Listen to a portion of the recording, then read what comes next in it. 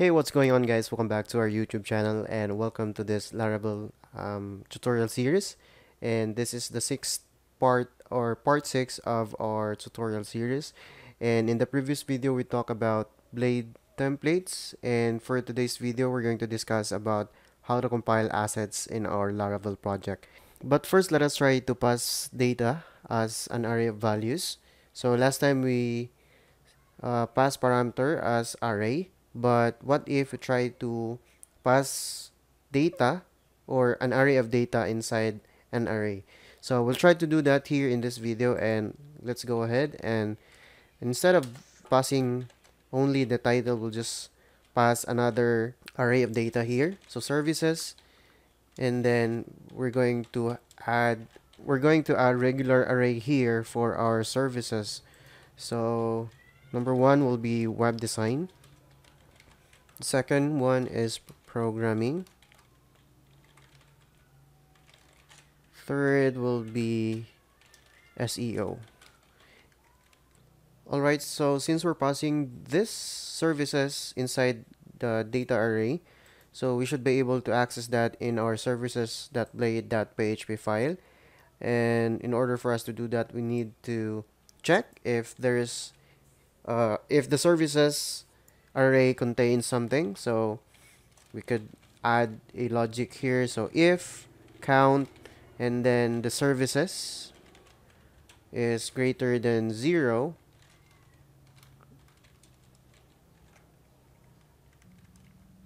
and below here let's try to add the um, and if there you go and of course, we need to iterate our services array if it is not empty. So add for each for each and then the services as service and we need to add also the end of our for each and of course inside uh, inside this for each we need to like if we need to add the li for our service something like that. And then we need to get the servers itself.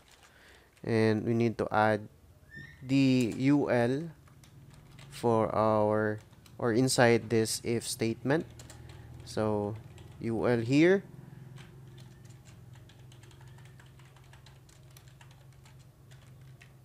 Save.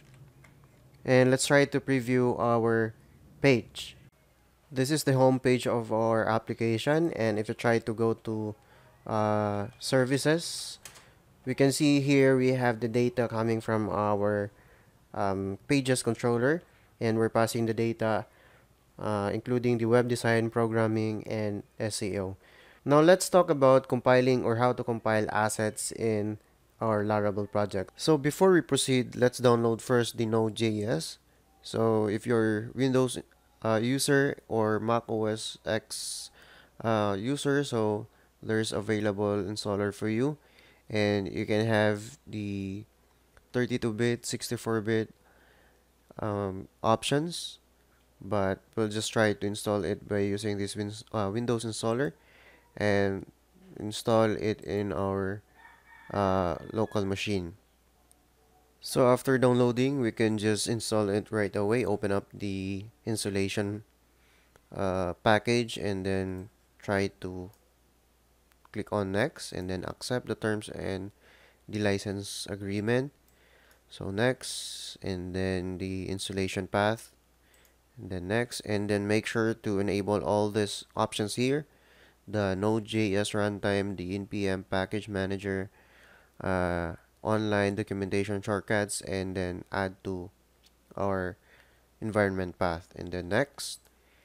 And there's an option here to automatically install the necessary tools and there's a note that this will also install the chocolatey and the script will pop up in a new window after installation process. So to save us from trouble so let's just enable this and then next and install and then we'll just wait for a few seconds to enable the Node.js installation to complete.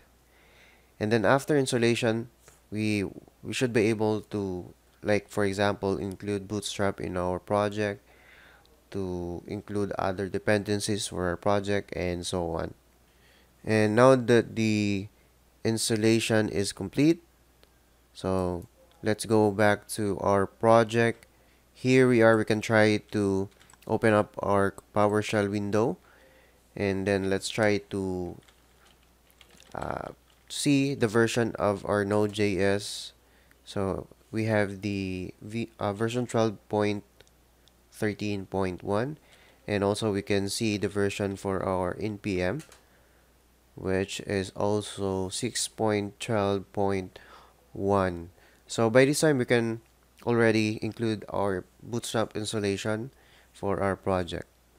Now we just want to run the command composer require laravel and then slash ui and then we're just gonna wait for a few seconds to allow the installation to complete.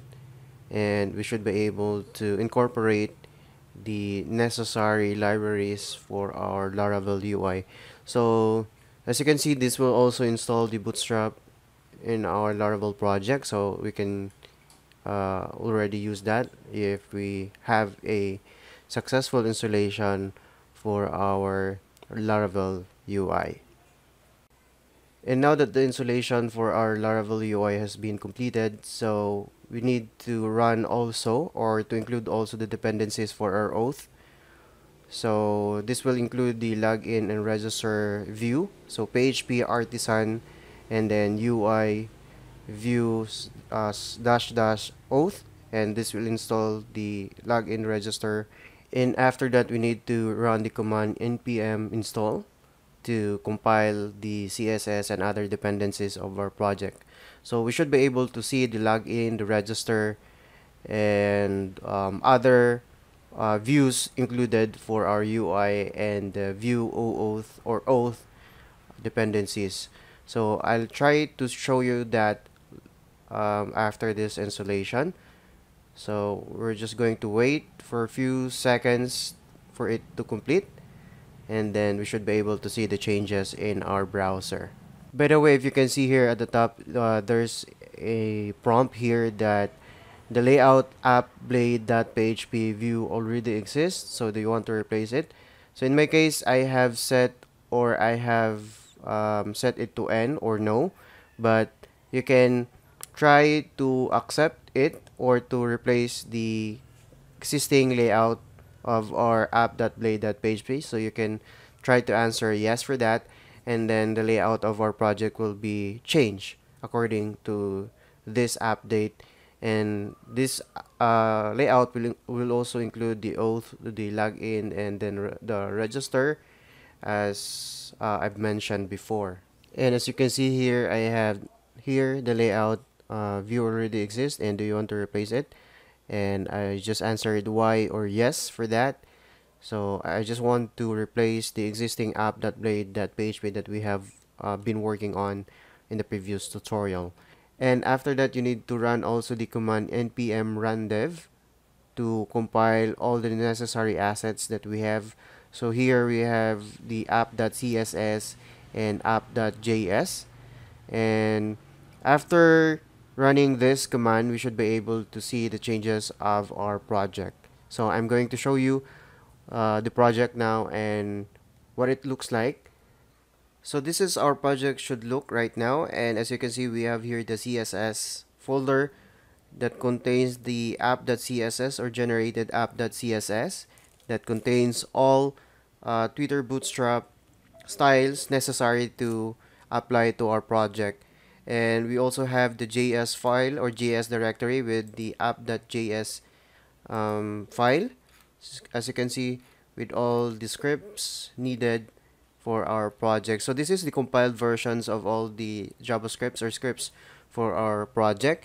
And as you can see here the resources we have here the app.js and the bootstrap.js and as I've mentioned before we also included the auth files so it should be the login that uh, login blade.php register blade.php and verify that uh, verify.blade.php and of course we also have this files for our passwords. So confirm, email, and reset. And now let's try to preview our code in our browser. So this is the homepage of our project right now. And if you try to go to about section, so we can still see the about us and then this is the about page uh, text and of course we can also see the services with all the services included the web design programming and SEO so these are the um, pages that we have added the login and then register if you try to click on that